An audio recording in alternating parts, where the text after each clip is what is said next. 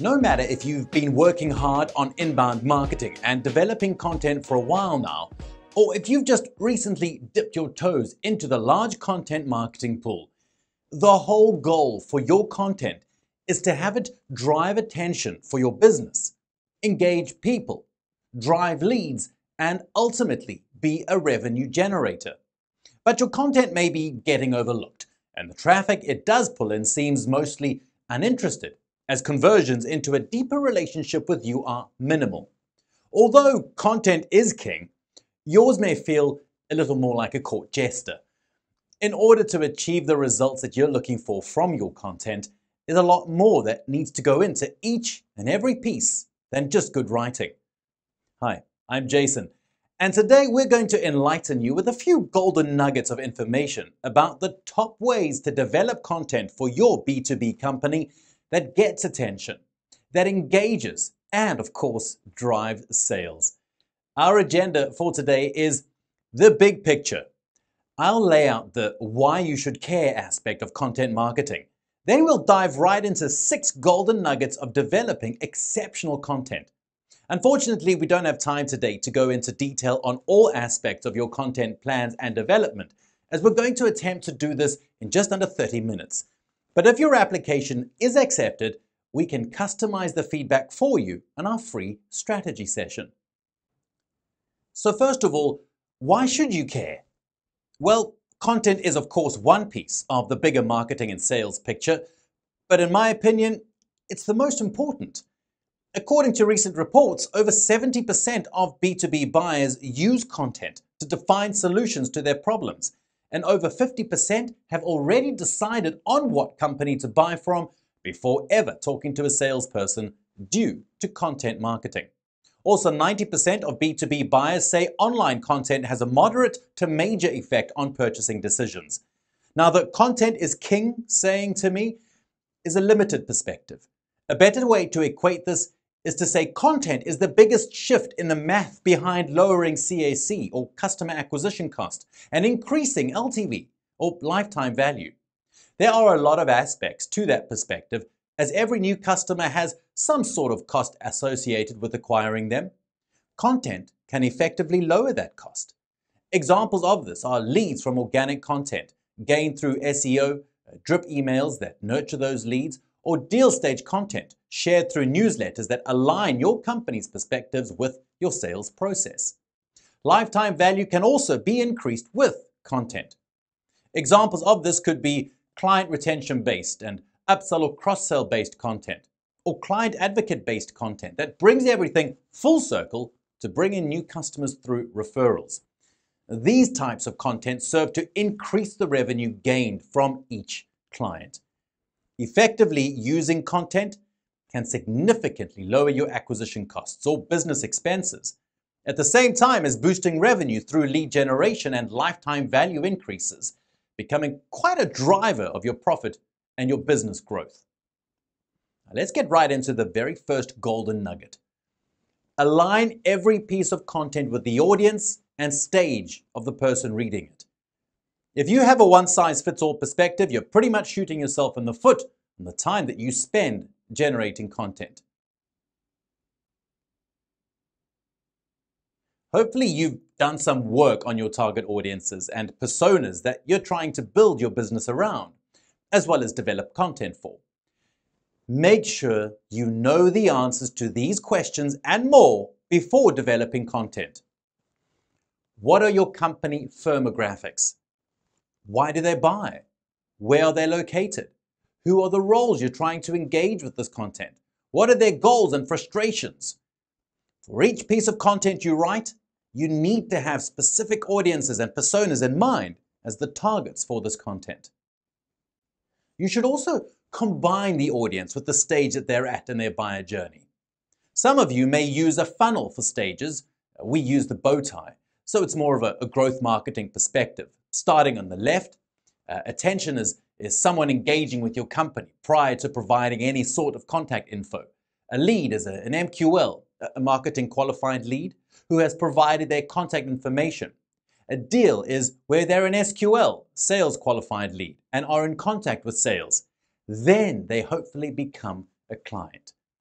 Then we still want to be marketing to people after they're a client in order to retain them, upsell and or cross-sell them, and have them as advocates telling other people about your company. When you develop content, put yourself in the mind of that person at that stage.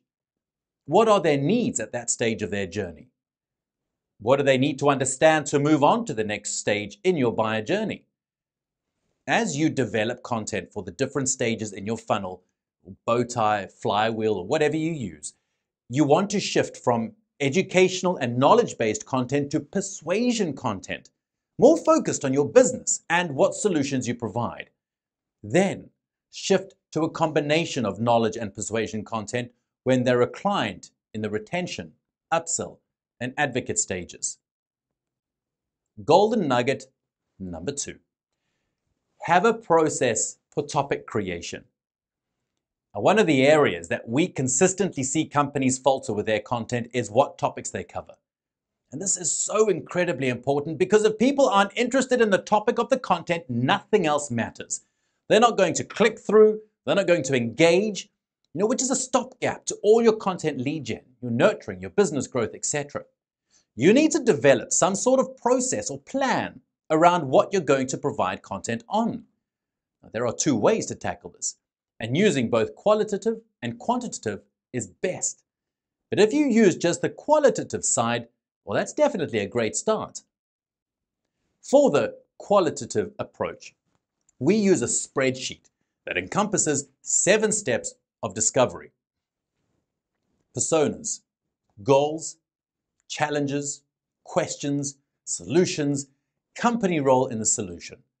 The personas through challenges steps can be pulled directly from your previous segmentation work if you've built that out. To quickly go through each column, personas, who are you trying to reach? Goals, for each persona, what are they trying to achieve? Challenges, for each persona, what is standing in their way of achieving their goals? Questions, well, what questions will they be asking in order to solve their challenges and achieve their goals? You can come up with the challenges and questions from your own knowledge of your target audiences. Or you can talk to or survey your current clients to garner some first party info on them. Solutions What are the answers to these questions? Company role in the solution. What features, services, products, information do we have that will solve this issue?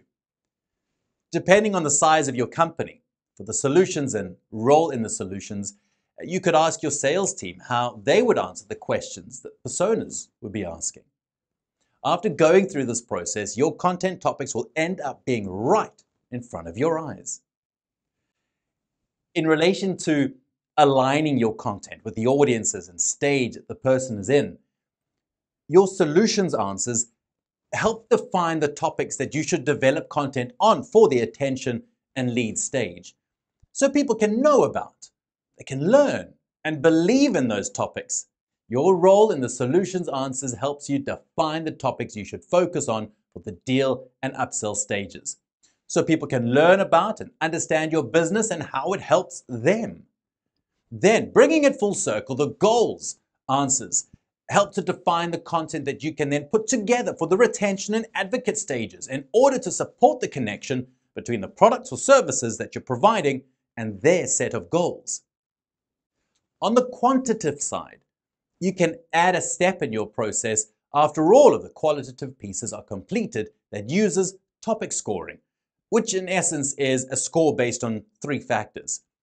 How important the persona is to the business, how important the topic is to that persona, and how much unique value you can add to the topic. It's an optional based on, on business type. Once you score each topic, you'll have a full plan of what to tackle when. The same process really helped when we worked with a digital transformation IT firm who had international offices. Now, this meant that despite the persona's position being the same, the topics shifted significantly because of the cultural differences between all the countries. Going through the process of looking at their goals, their challenges, the questions, the solutions, and then scoring them meant that we knew which content to develop for which offices and at what time. As a part of our free strategy session, we can review the topics that you have for audience and stage alignment. golden nugget number three will absolutely be very valuable on the SEO and content engagement side of things if done correctly. Search engines see the internet as well as your website and content as a web of connections based on ideas or topics. So golden nugget number three is to create content clusters, or whatever eloquent name you want to call them. The idea is to look across all the topics that you have, and you'll see common themes jump out, or topics that can cluster around one idea. You can align these ideas into levels of information.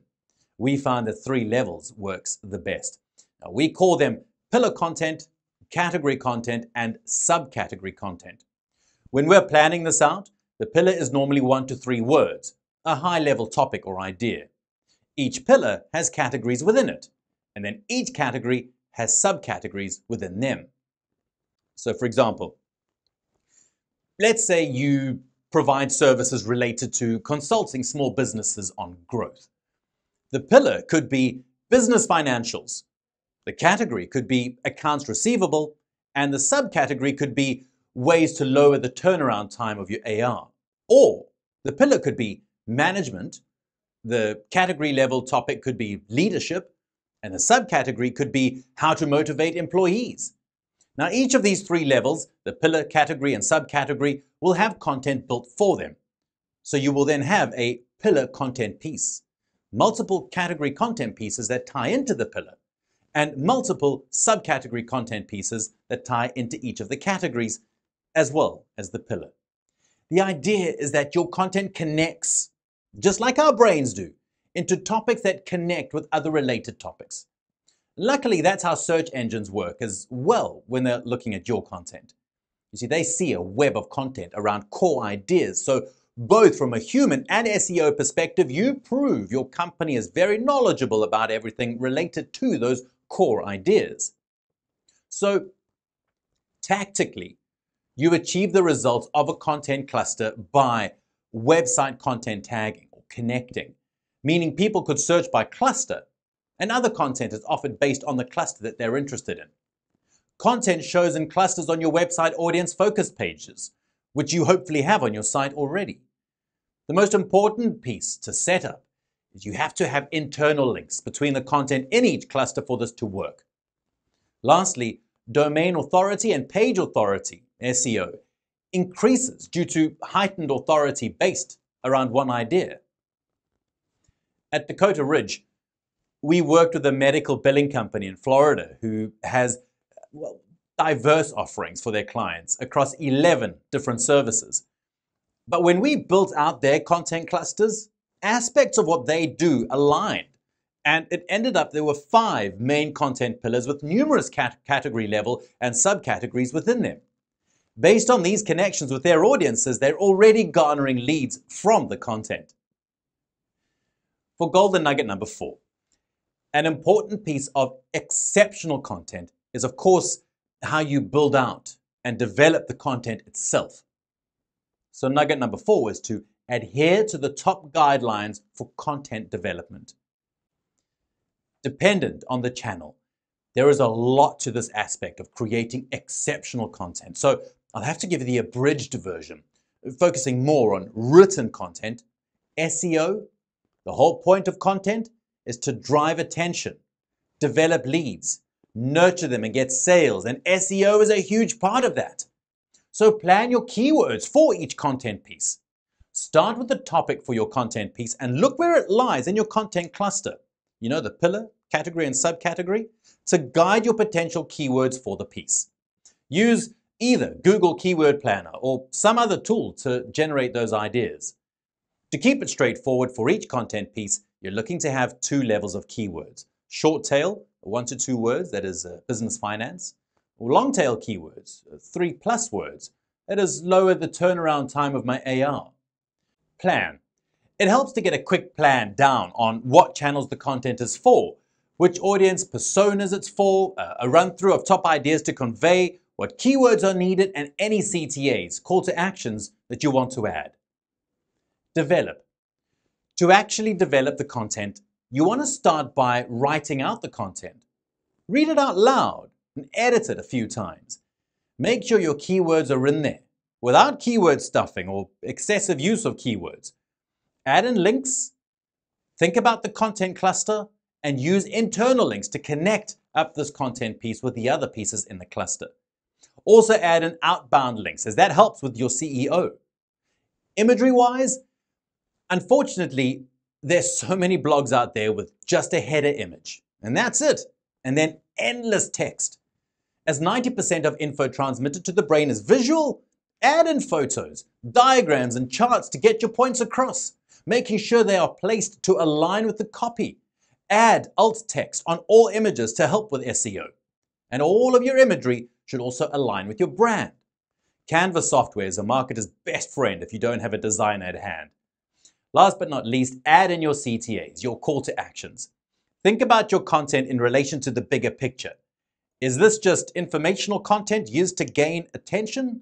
Is there a next step that you want your reader to take? Have a good mixture of CTAs in the content so it's not overkill, but it's right there to entice people to take action. You can have both graphical CTAs as well as text links within the content. You will of course need to set up any needed pieces of the CTA. Uh, for example, this could be a, a pop-up form, you know, when they click on a button, then connect up that lead information to your CRM, have email automation set up, and easy download of the lead magnet content. The combination of these guidelines will help bolster any generic content to exceptionally performing content. If your strategy session application gets approved, we can assess these aspects as part of your free session. Creating exceptional content does take a bit of time and energy, so it is important to get the most bang for your buck, as they say. And that's where nugget number five comes in strategize how each piece of content can be repurposed. If you're creating a blog post, don't just publish it on your site and leave it at that.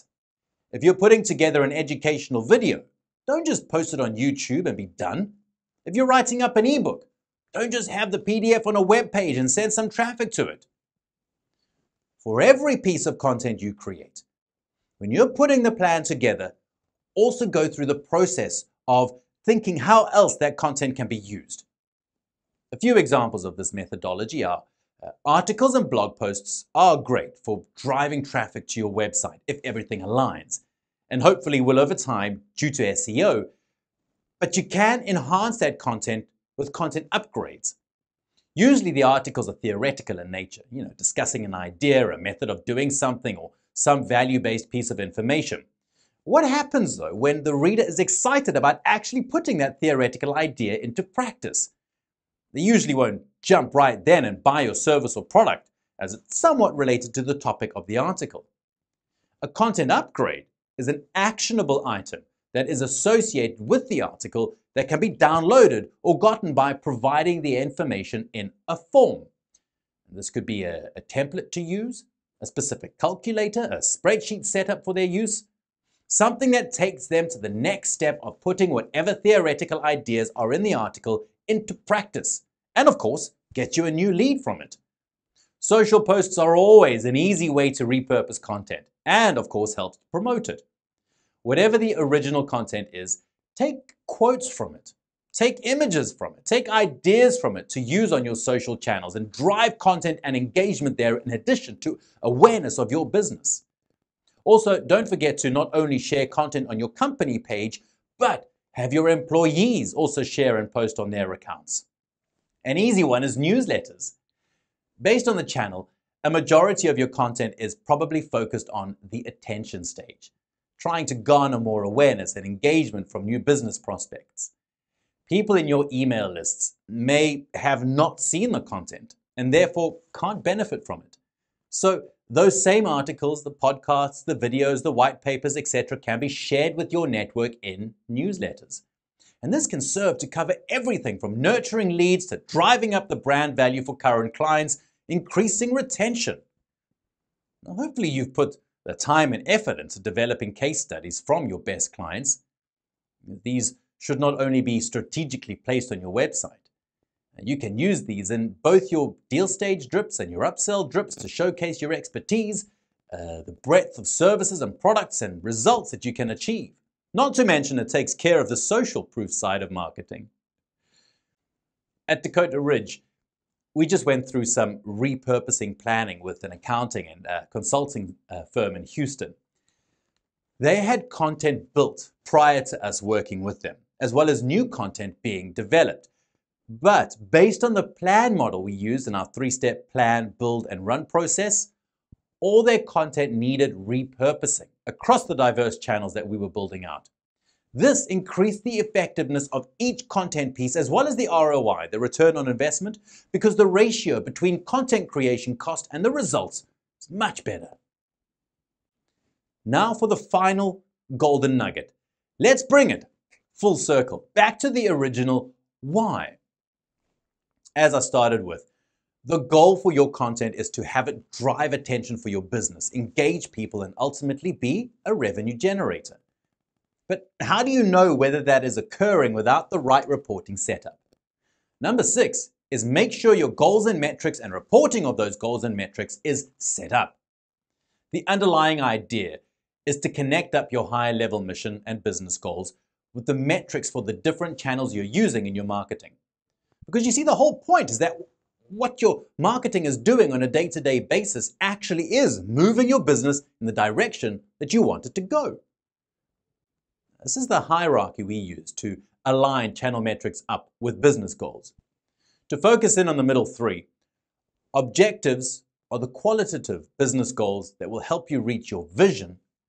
The key results are the quantitative results that will help you achieve those objectives. And the metrics are the channel specific numbers and rates of change you need to hit to achieve the key results you laid out. A good rule of thumb is to use totals for key results. For example, we want to hit 7.5 million in revenue this year and then use rate of change for metrics. For example, our uh, webinar lead gen should increase by 10% month over month. And take a look across your marketing channels and develop metrics for your needs. You can easily do some research on channel and industry norms for these metrics as a starting point. After you have your goals and after you have your metrics in place, you need to be able to actually report on them. This means setting up tracking for all of your channels, as well as the way in which you'll be reporting the results. For website tracking, if you're not using Google Tag Manager, it really makes life easier as you can manage all of your tracking tools and tags from one easy to use dashboard, as well as you only need to put one snippet of code on your website. For reporting, our suggestion is to use reporting and dashboard tools to align everything, as there's usually a number of different channels and you know, capturing all the metrics manually to report on them can be absolutely cumbersome. Something like Domo or Klipfolio can enhance your view into what's truly going on with your content, what strategies and tactics need to be reviewed, and what part it's playing in your business growth. And we'll be able to discuss how your business goals are meeting up with your marketing campaigns and metrics during our strategy session with you. Building the marketing strategies behind content, the topics and clusters that engage, completing the actual development, Uh, publishing and promotion of content, and making sure it all leads to business results are some of the areas that we are lucky enough to work with our clients on.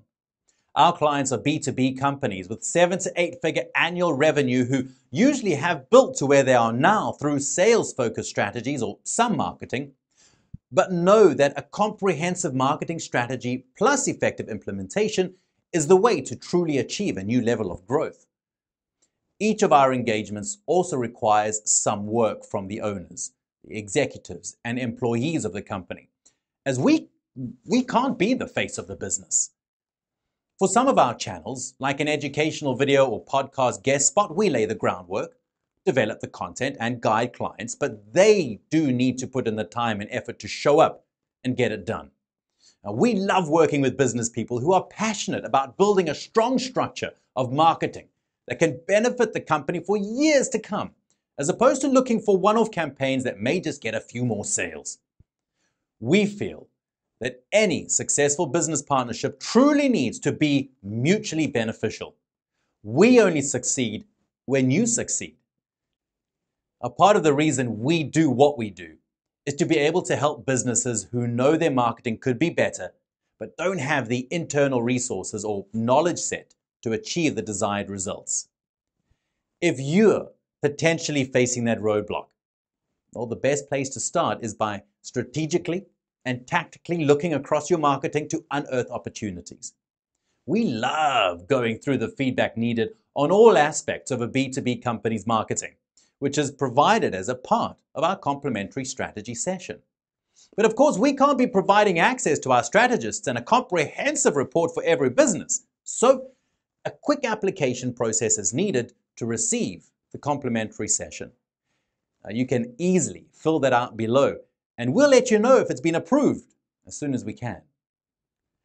We'd just like to thank you so much for taking the time out today to dive into the top ways to develop exceptional content that gets attention, engages, and drives sales for your B2B company. I hope they help to enhance your content, and we look forward to receiving your application and seeing your business results come to fruition. Thanks so much. Bye bye.